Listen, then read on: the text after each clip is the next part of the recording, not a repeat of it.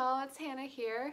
Um, I am really excited to share this video with you today. It is a mini series that I released to my Facebook and Instagram pages just a couple weeks ago and I was talking about the differences between a violin and a fiddle which you'll uh, see that I don't actually think that there's a difference between the two of them um, as far as the instrument goes but there are certain traits of the instrument that make it seem more like a violin or more like a fiddle. So I wanted to share this little series with you. I did upload it on different days um, and I recorded it on different days. So it's even though it's all in one package for you all here, it is gonna sound a little weird with uh, oh hey, here I am today, and welcome to day two, welcome to day three. So it's all in one package for you. You can save it to your watch later playlist, or you can watch it now if you like, and I hope that you enjoy. The most common question that I get is what is the difference between a violin and a fiddle? Well, the short answer is they are the same instrument. But this week I want to go through three kind of more general differences that I've noticed between violins and fiddles. So the first one today is genre. So you've got three different types of music. You've got your folk music, you have art, and then you have popular music. So a violin is going to fit more in with the art form or the popular form. And by art, I mean classical, jazz, something that you would um, be putting more of a show on, and there's a clearer barrier between audience and artist. Whereas fiddle, you typically see it in um, folk traditions, uh, traditional music, world music, um, that sort of thing. So it's more community based. What is the difference between a violin and a fiddle part two? Yesterday I covered genre and today I'm going to transition over into mood. So violin makers or luthiers, they actually create instruments to fit violinists or fiddle players. So a, um, a, classical violinist might want an instrument that has more of a bright, clear sound that's going to just cut right across an audience um, and fill up the auditorium with their magnificence. Yes, I'm going to throw that in as much as I can because I love that phrase. Um, while a fiddle player wants, usually wants more of a dark or mellow tone. Honestly, if a classical violinist wants this tone, they will probably end up switching to viola. Just a fact. But um, fiddles kind of like that more mellow tone. You know, they're playing in pubs, in community halls, busking on the streets, that kind of thing.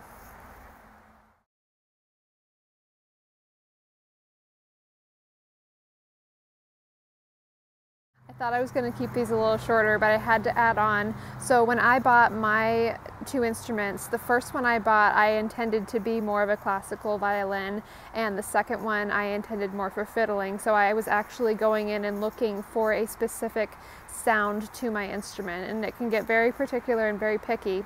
But I think what I'm going to do is I'm going to upload a couple stories later today of me playing both of my violins, or my violin and my fiddle, technically. Um, and I will just demonstrate that difference for you guys so you can kind of hear more about what I'm talking about. So thank you for listening. Um, stay tuned. Uh, tip three is coming your way on Thursday. Okay guys, this is my classical violin here. Uh, I've played it as a fiddle for many, many years.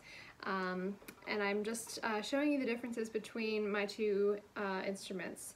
So here is the classical version.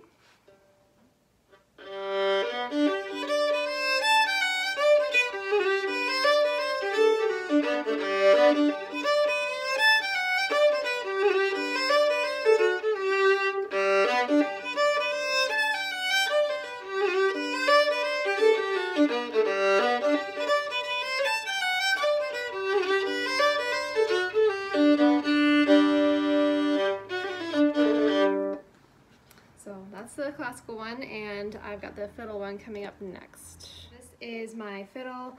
I specifically went into the Huffmaker's shop and I asked if I could play their fiddles or the um, instruments that fiddle players prefer and I found this one so um, the rest is history but you'll hear the, the difference between the two I think.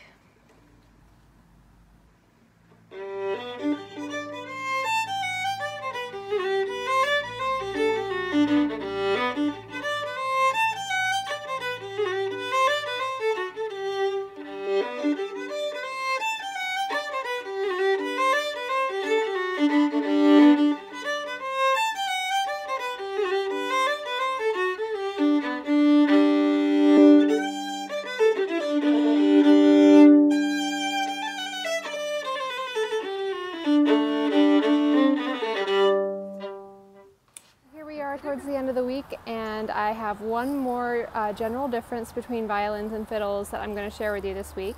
So that is posture. Now this gets a little nitpicky, so I'm going to go ahead and just show you what I'm talking about.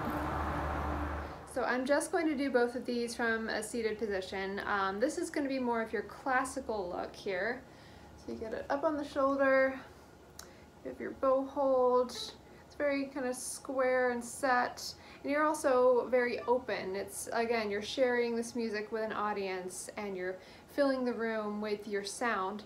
Whereas a fiddle player, it's going to be a little bit more introspective, which kind of goes along with some traditional music. It's less about the performer and more about the story that's being told. So you're focusing more on the instrument than the posture. So if I were sitting in an Irish pub, I might, you know, have my legs crossed and just kind of got my elbow tucked in here, holding the fiddle down